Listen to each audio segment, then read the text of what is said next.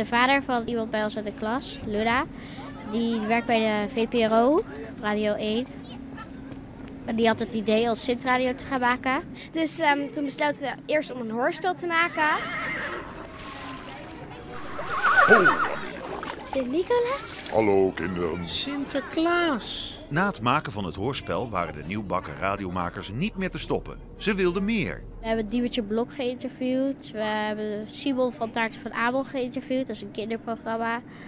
We hebben, we gaan- we hebben de burgemeester van Lanceerland geïnterviewd. Ik mocht mijn allergrootste popidolen interviewen bij hun thuis. En dat vond ik echt geweldig om te doen.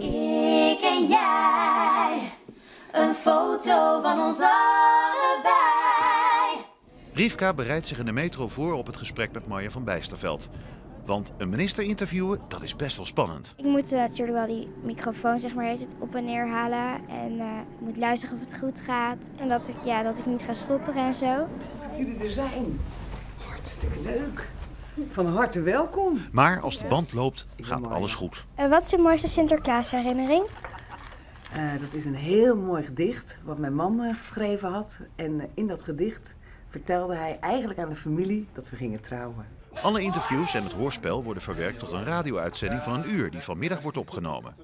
Co-presentator Tom weet precies wat hij moet doen. Je moet eh, goed praten, je moet niet binnen de mond gaan praten, je moet een beetje overdrijven.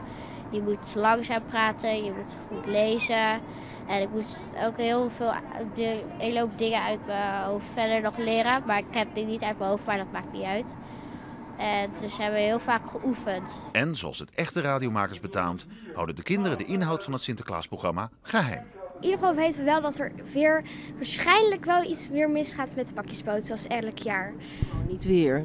Ja, ik vind het ook heel erg jammer elk jaar altijd weer helemaal in de stress. Maar ik hoop dat het dit jaar goed komt.